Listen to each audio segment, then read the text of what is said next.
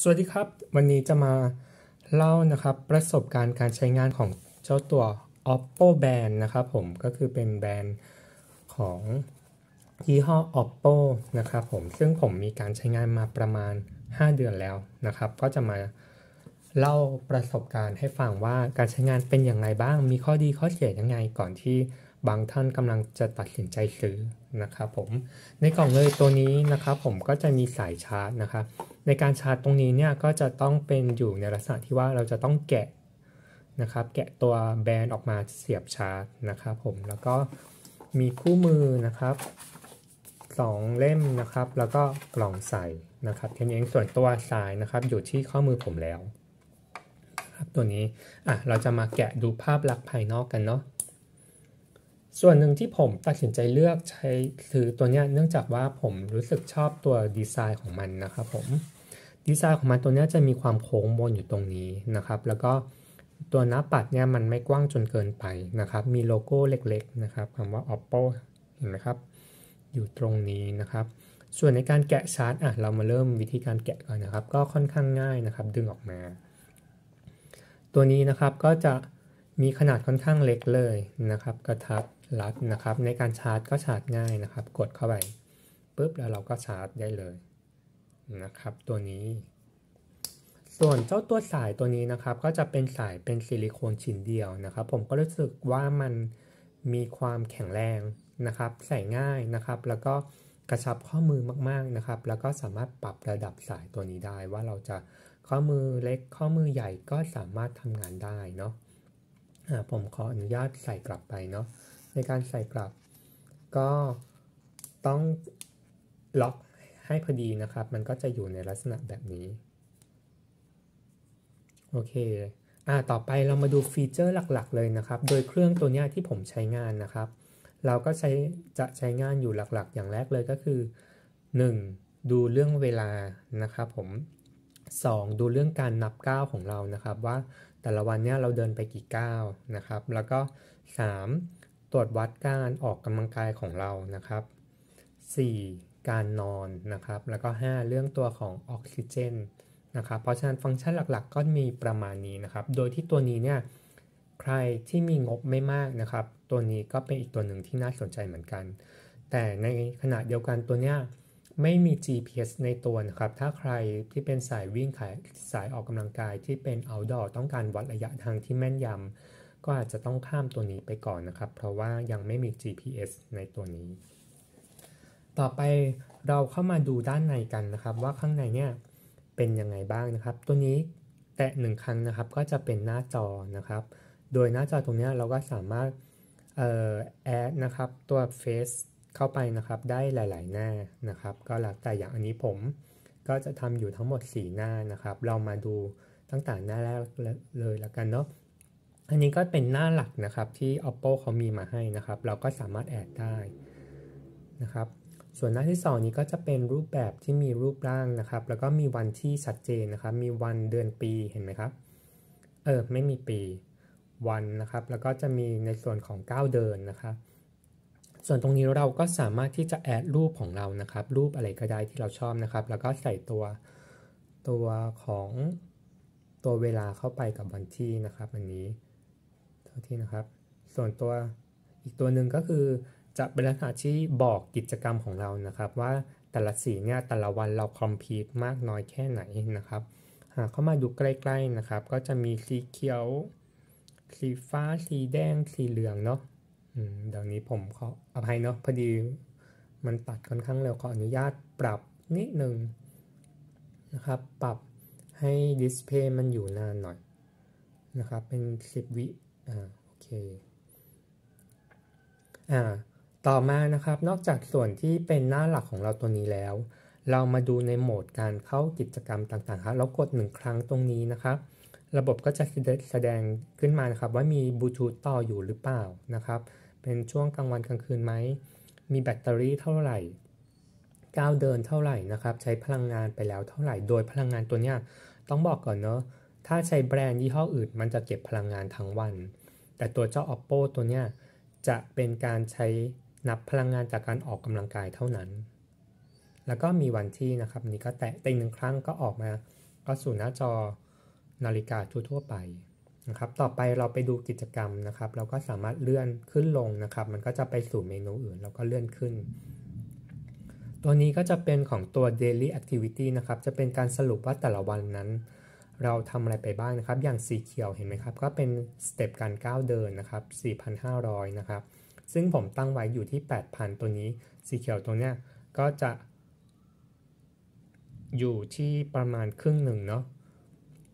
ตัวส่วนแคลอรี่เนี่ยก็คือ 317 อันนี้ถ้าเต็มหลอดก็แสดงว่าครบแล้วนะครับอันนี้ ส่วน workout อันนี้ผมออกกำลังกายไป 43 นาทีนะครับ ก็เป็นสีเขียวตัวนี้ก็คือครบแล้ว ส่วนสีน้ำเงินนะครับก็จะเป็น activity นะครับ มันก็จะนับอย่างตัวระบบเนี่ยมันก็จะ default ไว้อยู่ที่ 12 นะครับ ถ้าเรามีกิจกรรมครบ 12 ครั้งมันก็จะเต็มหลอด อันนี้ก็เป็นหน้า daily activity นะครับ เป็นหน้าสรุปรวมต่อไป ในโหมด workout นะครับ ตัวนี้นะครับ ก็ต้องบอกเลยว่าก็มีไม่ค่อยมากนะครับ เราเข้าไปที่ workout นะครับ ก็จะมี outdoor run นะครับ indoor run นะครับ ก็จะเป็นการวิ่ง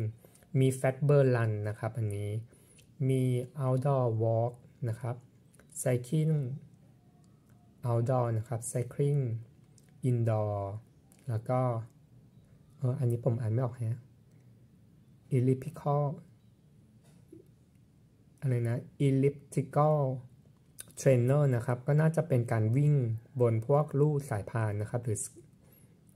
แล้วก็มี rowing machine นะครับ มี cricket แบดมินตัน swimming pool โยคะ training นะครับ ที่เมื่อเมื่อสักครู่บอกว่าน้อยจริงๆแล้วก็อาจจะเยอะเนาะแต่ว่า สิ่งที่ผมใช้หลักๆเนี่ยคือผมไม่ใช่สายวิ่งผมก็จะเล่นส่วนใหญ่เป็น free training นะครับพวก cardio ต่างๆ dancing แอโรบิกเนี่ยมันก็ไม่มีนะครับของตัวระบบเจ้าตัวนี้ เพราะฉะนั้นเราก็มาอยู่ที่ free training เป็นส่วนใหญ่ แล้วผมก็เล่นโยคะนะครับ ในส่วนของว่ายน้ำผมก็เคยไปว่ายมาแล้วนะครับ ในตัวเนี้ยรองรับการว่ายน้ำค่อนข้างตรงเลยนะครับ ในการว่ายรอบนะครับ แต่ว่าจะไม่สามารถวัดชีพจรในขณะว่ายน้ำได้นะครับ อันนี้ ในส่วนของการวิ่งการเดิน outdoor เนี่ย ถ้าเราพกอุปกรณ์มือถือไปด้วย แล้วอุปกรณ์มือถือมีการซิงกับตัวแอปตัวเนี้ย มันก็จะมีดีดีเทคตัวของ GPS ให้ แต่ถ้าหากว่าไม่มีมือถือก็จะไม่มี GPS ให้นะครับ อันนี้นอกจากโหมดออกกำลังกายต่อไปก็เป็นโหมด heart rate ของเรานะครับ โหมด heart rate ของเราในที่นี้มันก็จะเป็นการที่เราจะต้องนะครับเอามือมาวัด นะครับ กดเข้าไปแล้วมันก็จะวัดตัวนี้ให้นะครับ ซึ่งอันนี้อะผมขออนุญาตยังไม่ต้องวัดหมดเนาะซึ่งตัวนี้เนี่ยในโหมด heart rate เราจะสามารถตั้งให้ว่าเจ้าเครื่องตัวเนี้ยมันวัดอยู่ตลอดไหม หรือจะให้มันเบนช่วงอย่างเช่น วัดทุกๆ 2 นาที ทุก ๆ 6 นาที หรือไม่วัดเลยก็ได้ ซึ่งอันนี้ก็แล้วแต่คนเนอะว่าว่าอยากที่จะเออใช้วัดแบบไหนนะครับ ตัวนี้ ในส่วนของ SpO2 ตัวนี้นะครับก็คือเป็นการวัดจำนวนของออกซิเจนนะครับในในหลอดเลือดเนาะอันนี้ตามที่ผมเข้าใจถ้าพูดผิดก็ขออภัยเนาะตัวนี้เนี่ยก็คือจะระบบก็สามารถวัดเป็นครั้งๆไปได้นะครับ หรือว่าเราจะ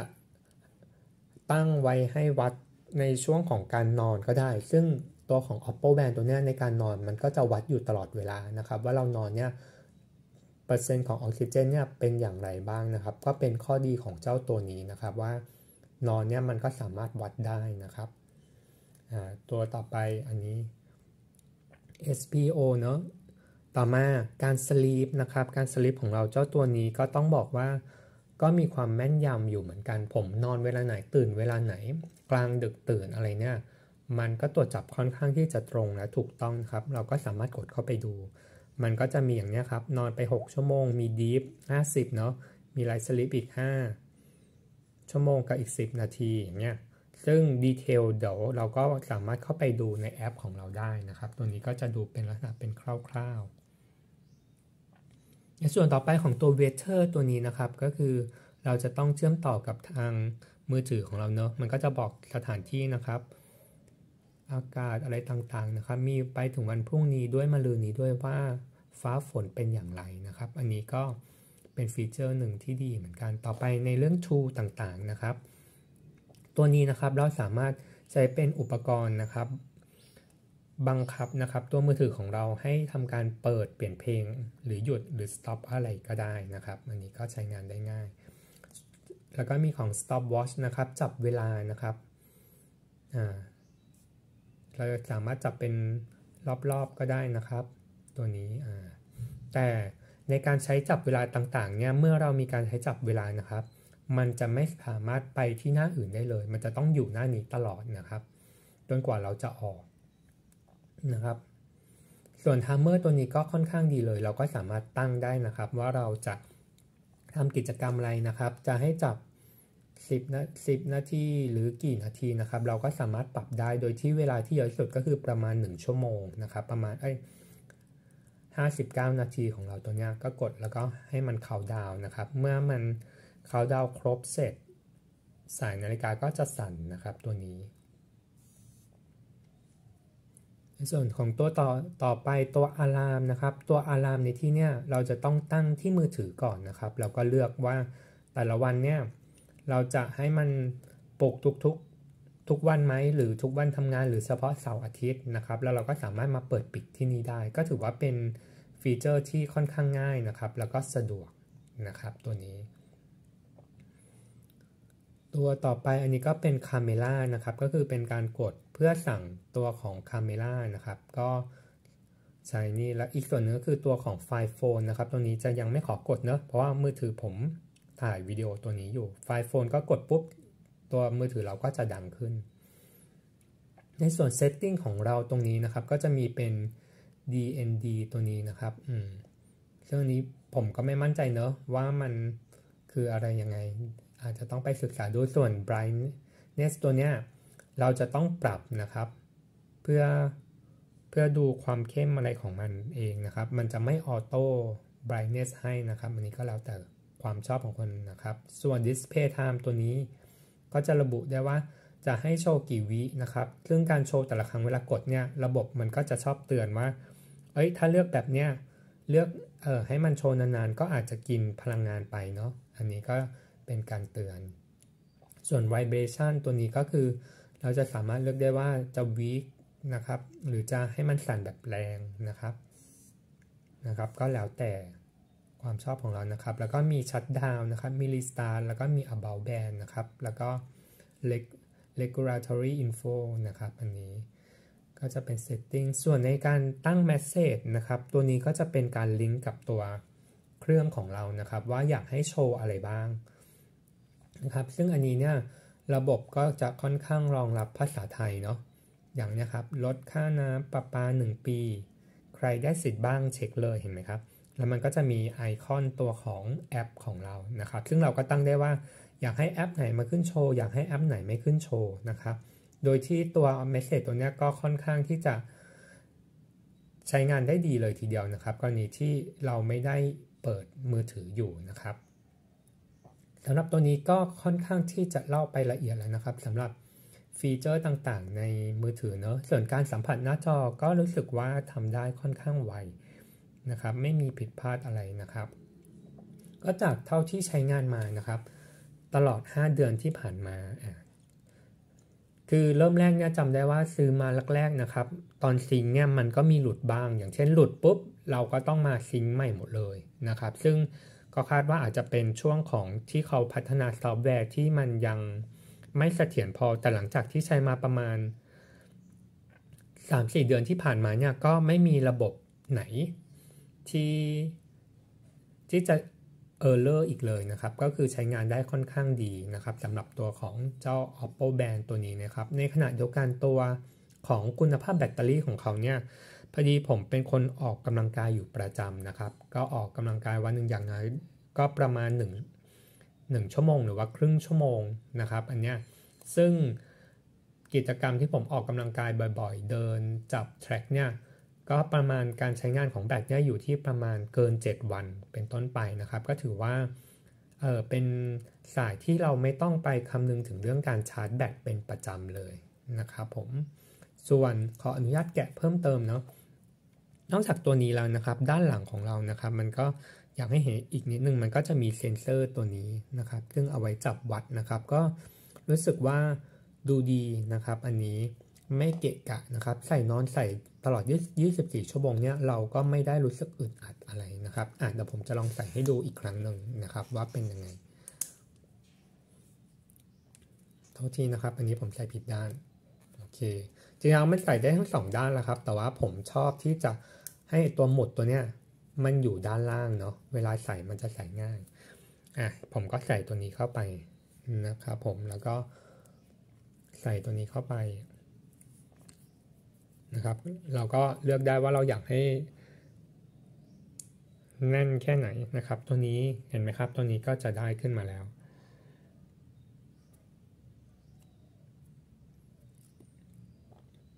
นะครับ ตัวนี้ก็โดยรวมแล้วภาพรวมแล้วแนะนำไหมแนะก็ยังแนะนำนะครับว่าถ้าใครที่มีงบไม่มากนะครับ ตัวเนี้ยก็จะราคาอยู่ที่ประมาณพันต้นๆ หรือช่วงเนี้ย บางครั้งมีโปรโมชั่นเนี่ยก็จะมีราคาต่ำกว่า 1,000 บาทนะครับสำหรับใครที่อยากจะออกกำลังกาย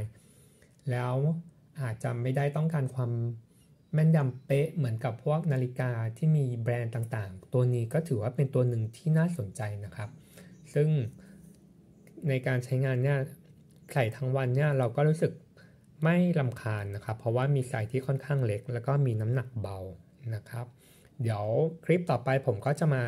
รีวิวตัวเจ้าแอปนะครับ ซึ่งแอปก็ต้องขอบอกก่อนว่า ก็อาจจะมีจุดหลาย ๆ จุดเนาะที่อาจจะยังไม่ถูกใจผมนะครับ แต่ว่าการใช้งานก็เพียงพอ